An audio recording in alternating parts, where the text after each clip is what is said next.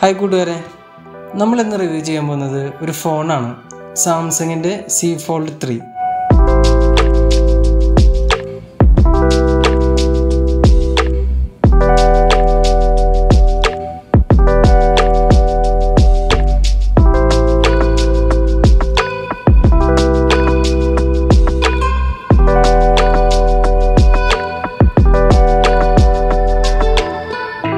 ഞാൻ ഏകദേശം ഒരു ആറു മാസമായിട്ട് ഈ സി ഫോൾഡ് ത്രീ തന്നെയാണ് ഉപയോഗിച്ചുകൊണ്ടിരിക്കുന്നത്. ഇതിനു മുൻപ് ഞാൻ ഉപയോഗിച്ചുകൊണ്ടിരുന്നത് സാംസങ്ങിന്റെ തന്നെ നോട്ട് ട്വന്റി അൾട്ര ആയിരുന്നു. അപ്പോൾ അതിൽ നിന്ന് അപ്ഗ്രേഡ് ആയിട്ടാണ് ഞാൻ ഈ ഫോൺ വാങ്ങിയത്. അപ്പോൾ ഈ ആറ് മാസത്തെ ഉപയോഗത്തിന് ശേഷം ഞാൻ ഈ ഫോണിനെ പറ്റി വിലയിരുത്തുകയാണ്. അപ്പോൾ ഇതിന്റെ positives negatives camera display battery performance അങ്ങനെ എല്ലാം തന്നെ നമ്മളൊരു വിധം ഈ റിവ്യൂവിൽ ഉൾക്കൊള്ളിക്കാനായിട്ട് ശ്രമിച്ചിട്ടുണ്ട്. അപ്പോൾ ഈ ഫോൺ നിങ്ങൾ ഉപയോഗിച്ചുകൊണ്ടിരിക്കുന്നവരാണെങ്കിലും ഇനി വാങ്ങാൻ ഉദ്ദേശിക്കുന്നവരാണെങ്കിലും ഈ വീഡിയോ കാണുകയാണെങ്കിൽ നിങ്ങൾക്ക് ഈ ഫോണിനെ പറ്റി കൃത്യമായ ഒരു ധാരണ കിട്ടും. അതുകൊണ്ട് തന്നെ ഈ വീഡിയോ ഫുള്ളായിട്ട് കാണാനായിട്ട് എല്ലാവരും ശ്രമിക്കും.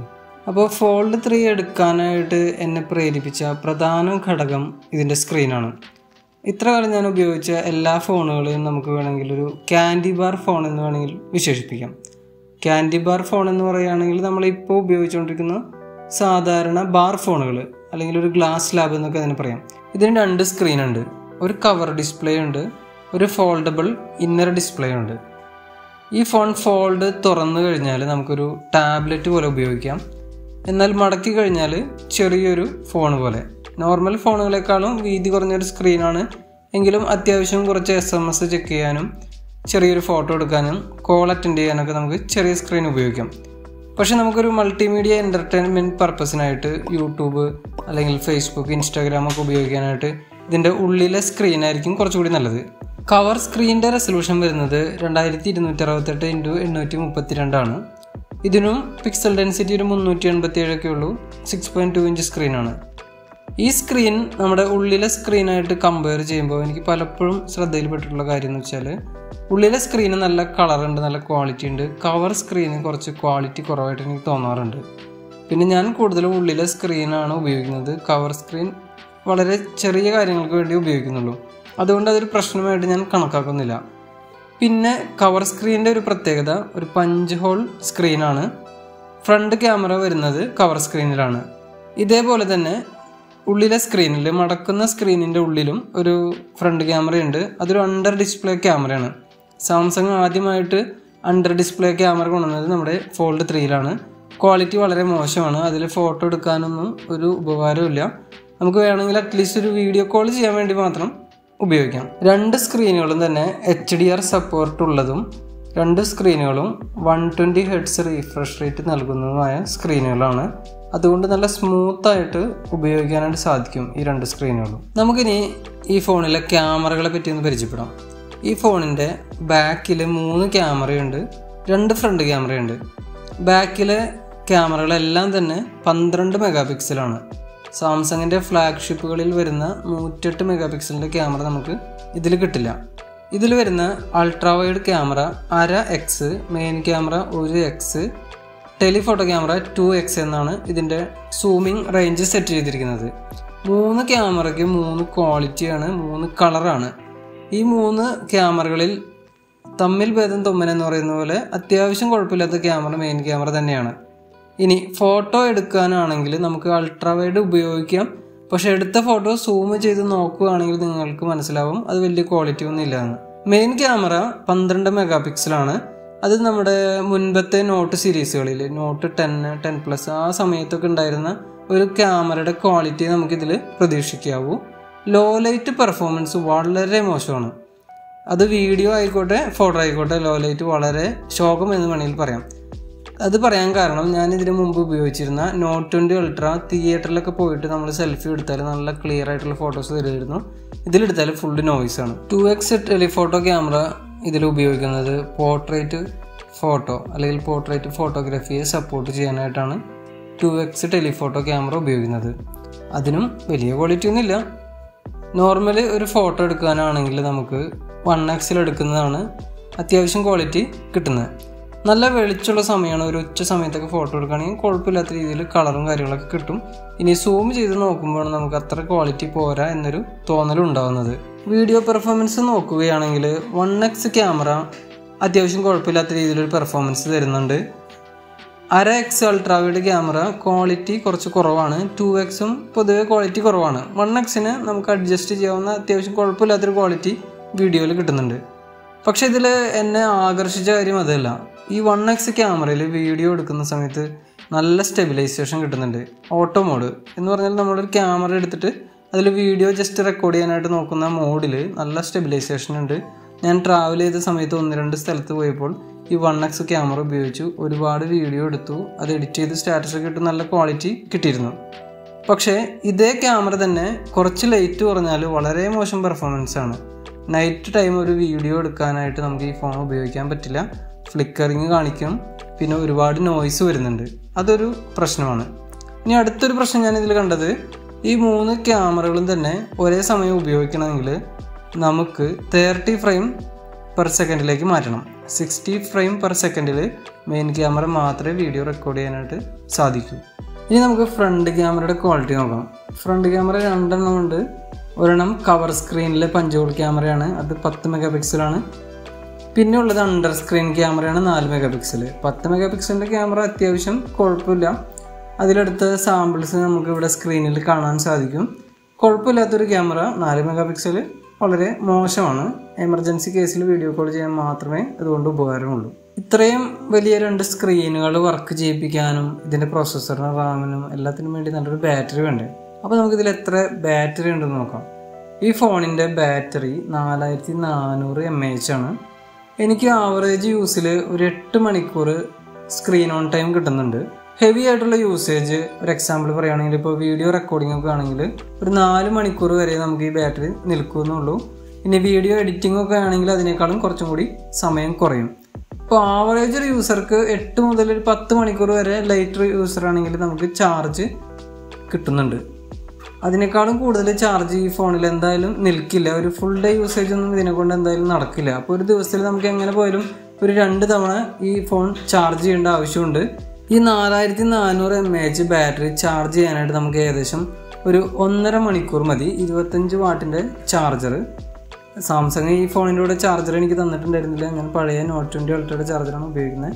അപ്പോൾ നമുക്കൊരു ഒന്നര മണിക്കൂർ കൊണ്ട് ഇത് ഫുൾ ചാർജ് ആവാനായിട്ട് സാധിക്കും. ഒരു എട്ട് മണിക്കൂർ ആവറേജ് യൂസേജ് ടൈം നമുക്ക് പ്രതീക്ഷിക്കാം. ഞാൻ എത്ര നാൾ ഉപയോഗിച്ച സാംസങ്ങിന്റെ എല്ലാ ഫോണുകളും തന്നെ എക്സിനോസ് ചിപ്പായിരുന്നു ഇത്തവണയാണ് എനിക്കൊരു സ്നാപ് ഡ്രാഗന്റെ സാംസങ് ഡിവൈസ് ഉപയോഗിക്കാനായിട്ട് കിട്ടുന്നത്. നമ്മുടെ ഈ ഫോൾഡ് ത്രീയിൽ സ്നാപ് ഡ്രാഗന്റെ ട്രിപ്പിൾ എയ്റ്റ് എന്ന് പറയുന്ന ചിപ്പാണ് പിന്നെ ഇതിനൊരു പന്ത്രണ്ട് ജി ബി റാം ഉണ്ട്. അതുകൊണ്ട് തന്നെ പെർഫോമൻസ് സൂപ്പറാണ് അതുപോലെ തന്നെ നമുക്ക് ഇത്രയും വലിയ സ്ക്രീനും ഈ പെർഫോമൻസ് ഉള്ളത് കൊണ്ട് തന്നെ രണ്ടോ മൂന്നോ ആപ്ലിക്കേഷൻസ് രണ്ടോ മൂന്നോ എന്ന് വേണ്ട അഞ്ച് ആപ്ലിക്കേഷൻ വരെ നമുക്ക് ഒരേ സമയത്തിൽ വർക്ക് ചെയ്യാനായിട്ട് സാധിക്കും. മൾട്ടി ടാസ്കിന്റെ കാര്യത്തിൽ ഈ ഫോൺ ഒരു പുലിക്കുട്ടി തന്നെയാണ്. നമുക്ക് ഈ ഫോണിന്റെ ബിൽഡ് ക്വാളിറ്റി ഒന്ന് നോക്കാം. പൊതുവേ ഞാൻ ഉപയോഗിച്ചിട്ടുള്ള സാംസങ്ങിന്റെ ഫോണുകൾക്കെല്ലാം എന്തെങ്കിലുമൊക്കെ ചെറിയൊരു ക്വാളിറ്റി പ്രശ്നങ്ങൾ അനുഭവപ്പെടാറുണ്ട്. ഇത്തവണ ഈ ഫോൾഡ് ത്രീയിൽ ആർമർ അലുമിനിയമാണ് ഉപയോഗിച്ചതെന്ന് ഞാൻ പരസ്യത്തിൽ കണ്ടു.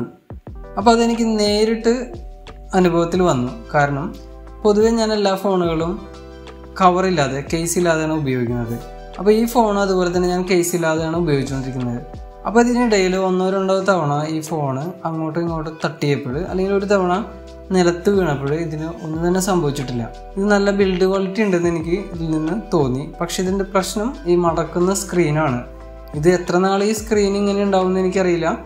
കമ്പനി അവകാശപ്പെടുന്നത് രണ്ട് ലക്ഷം തവണ മടക്കിയാലും ഇത് ക്രാക്ക് വീഴില്ല എന്നാണ്. പക്ഷേ തണുപ്പുള്ള രാജ്യങ്ങളിൽ ഈ ഫോൺ ഉപയോഗിക്കുന്നവരുടെ ഫോണുകൾ ഏകദേശം ഒരു വർഷത്തിനുള്ളിൽ തന്നെ പലതും സ്ക്രീൻ ക്രാക്ക് വീണതായിട്ട് കണ്ടിട്ടുണ്ട്. നമ്മുടെ നാട്ടിൽ ഇത് വരില്ല എന്ന് പ്രതീക്ഷിക്കാം.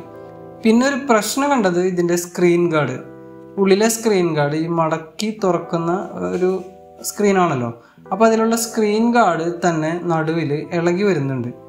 ആ പശ അതിന്റെ വിട്ടുപോകുന്നുണ്ട് അപ്പോൾ അതൊന്ന് രണ്ടാമത് ഒട്ടിക്കേണ്ട ഒരു ആവശ്യമുണ്ട്. വേറെ ഒരു ബിൽഡ് ക്വാളിറ്റി എനിക്ക് ഇഷ്യൂസ് ഇതിൽ തോന്നിയിട്ടില്ല. നമ്മളെല്ലാവരും ഫോണിൽ ഒരുപാട് ഫോട്ടോ എടുക്കുന്നുണ്ട്. പക്ഷേ ഈ ഫോട്ടോ ആരും തന്നെ പ്രിന്റ് ചെയ്യാനോ ആൽബം ആക്കാനോ നോക്കുന്നില്ല. ഞാൻ ഈ ഫോണിൽ ഒരു മിനി ആൽബമായിട്ടാണ് ഉപയോഗിക്കുന്നത്. അപ്പോൾ വീട്ടിൽ നടക്കുന്ന ഇവൻസിന്റെ ഫോട്ടോ നമ്മൾ ട്രാവൽ ചെയ്യുമ്പോൾ എടുക്കുന്ന ഫോട്ടോസ് അതുപോലെ പല പല ഫോട്ടോസ് നമുക്ക് ഓരോ ഫോൾഡറായിട്ട് ഈ ഫോണിൽ സൂക്ഷിക്കുകയാണെങ്കിൽ ഒരു ആൽബം ഉപയോഗിക്കുന്നത് പോലെ അല്ലെങ്കിൽ ഒരു ആൽബം നോക്കുന്നത് പോലെ നമുക്കിതിൽ ഫോട്ടോസ് കാണാൻ പറ്റും. വളരെ ഉപകാരപ്രദമായ ഒരു സംവിധാനമാണ്. അതുകൊണ്ടാണ് ഞാൻ കൂടുതലും ഈ ഫോൾഡ് എടുക്കണമെന്ന് ആഗ്രഹിച്ചത്. ഫോട്ടോ എടുക്കുന്നത് പോലെ തന്നെ ഫോട്ടോ എഡിറ്റ് ചെയ്യാനും ഈ ഫോൾഡ് ത്രീ വളരെയധികം ഉപകാരം നൽകുന്ന ഒരു ഡിവൈസാണ് നമുക്ക് സ്നാപ്സീഡ് അഡോബ് ലൈറ്റ് റൂം ഈ രണ്ട് ആപ്ലിക്കേഷൻ ഉപയോഗിച്ച് വളരെ നല്ല രീതിയിൽ ഫോട്ടോസ് എഡിറ്റ് ചെയ്യാനായിട്ട് ഈ ഫോണിൽ സാധിക്കും. ഫോട്ടോ പോലെ തന്നെ വീഡിയോ എഡിറ്റ് ചെയ്യാനും നമുക്ക് ഈ ഫോൺ വളരെയധികം സിമ്പിളായിട്ട് ഉപയോഗിക്കാം. V N editor InShot editor ഇത് രണ്ടുമാണ് ഞാൻ പ്രധാനമായിട്ട് വീഡിയോ എഡിറ്റ് ചെയ്യാനായിട്ട് ഉപയോഗിക്കുന്നത്. ഇത് രണ്ടും തന്നെ ഈ ഫോണിൽ നല്ല രീതിയിൽ വർക്ക് ചെയ്യും. പിന്നെ ഇതിന്റെ സ്ക്രീനിന്റെ റേഷ്യോ ഈ ഏകദേശം four is to three three റേഷ്യോയും പിന്നെ ഈ വലിപ്പവും സെവൻ പോയിന്റ് സിക്സ് ഇഞ്ചിലും നമുക്ക് വീഡിയോസ് എഡിറ്റ് ചെയ്യാനായിട്ട് വളരെയധികം സിമ്പിളാണ് വളരെയധികം യൂസ്ഫുൾ ആയിട്ട് നമുക്ക് വീഡിയോ എഡിറ്റ് ചെയ്യാനായിട്ട് സാധിക്കുന്നുണ്ട്. നമുക്ക് ഫോണിൽ ഗെയിം കളിക്കാൻ താല്പര്യമുള്ളവർക്ക് വളരെയധികം നല്ല ഒരു ഡിവൈസാണ് ഈ സാംസങ് സി ഫോൾഡ് ത്രീ ഇതിന്റെ വലിയ സ്ക്രീനും ഈ പെർഫോമൻസും നമുക്ക് ഗെയിമിങ്ങിന് വളരെയധികം ഉത്തമമാണ്. കൂടാതെ ഇതിൽ രണ്ട് സ്പീക്കറുകളുണ്ട് സ്റ്റീരിയോ സ്പീക്കറുണ്ട് നല്ല സൗണ്ടുള്ള സ്പീക്കറുകളാണ് അപ്പോൾ ഗെയിം കളിക്കുന്നത് വളരെ നല്ലൊരു അനുഭവമാണ്. ഞാൻ അങ്ങനെ സ്ഥിരമായിട്ട് ഗെയിമൊന്നും കളിക്കാറില്ല. പക്ഷേ ഇതിൽ ഒന്ന് രണ്ട് ഗെയിം ഇൻസ്റ്റാൾ ചെയ്തിട്ട് ചെക്ക് ചെയ്തപ്പോൾ നല്ല റിസൾട്ടാണ് കിട്ടിയത്. അതുകൂടാതെ തന്നെ നമുക്ക് വെബ് ബ്രൗസിങ് വെബ് ബ്രൗസിങ്ങിന് ഈ വലിയ സ്ക്രീൻ ഒരു ഉപകാരമാണ്. നമുക്ക് ഈ ബുക്ക് റീഡിങ്ങിനും ഈ വലിയ സ്ക്രീൻ നല്ലൊരു സപ്പോർട്ടീവാണ് ഇപ്പോൾ എല്ലാവരും യൂട്യൂബിൽ ഒരുപാട് ചാനലുകൾ വരുന്ന ഇഷ്ടംപോലെ വീഡിയോകൾ കാണുന്നുണ്ടാവും. വാർത്തകൾ അറിയാനായിട്ടും എന്റർടൈൻമെന്റിനായിട്ടും പഠിക്കാനായിട്ടും ഒരുപാട് കാര്യങ്ങൾക്ക് നമ്മൾ യൂട്യൂബ് തന്നെയാണ് ഉപയോഗിക്കുന്നത്. അപ്പോൾ യൂട്യൂബിലെ വീഡിയോകൾ പൊതുവേ സിക്സ്റ്റീൻ ഇസ്റ്റു നയൻ ഫോർമാറ്റിലാണ് ഇത് നമ്മുടെ നോർമൽ ഫോണുകൾ കാണുമ്പോൾ വളരെ ചെറുതായിരിക്കും. കാരണം നോർമൽ ഫോണുകളുടെ സ്ക്രീനൊക്കെ ഇപ്പോൾ വളരെ നീളത്തിലാണ് വരുന്നത്.